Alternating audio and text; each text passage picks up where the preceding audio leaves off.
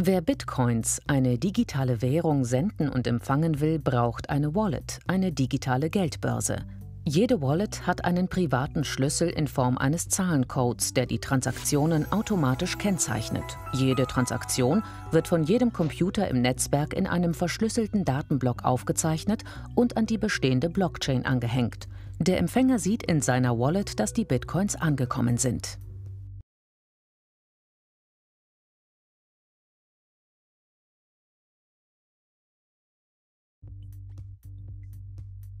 Wer Bitcoins, eine digitale Währung, senden und empfangen will, braucht eine Wallet, eine digitale Geldbörse.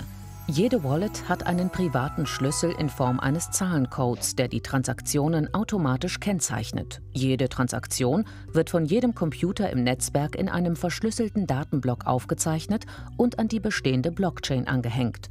Der Empfänger sieht in seiner Wallet, dass die Bitcoins angekommen sind.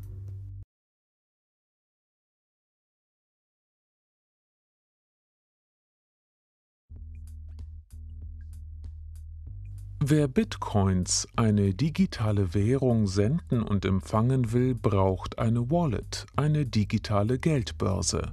Jede Wallet hat einen privaten Schlüssel in Form eines Zahlencodes, der die Transaktionen automatisch kennzeichnet. Jede Transaktion wird von jedem Computer im Netzwerk in einem verschlüsselten Datenblock aufgezeichnet und an die bestehende Blockchain angehängt.